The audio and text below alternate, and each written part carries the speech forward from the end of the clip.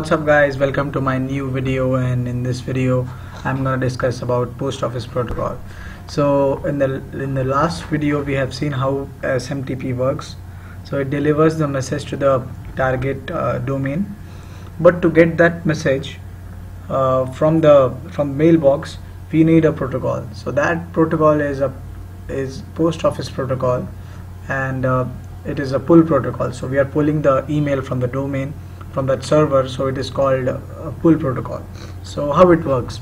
So uh, first the uh, POP3 client sends username and password. So it logs in, in into the into the server. And uh, server acknowledge it acknowledge this uh, by sending OK if the password and uh, username are correct. Then after that the client sends the email number. So so the numbers uh, up till which the email is to be downloaded at the client side. So after this it retrieves the email.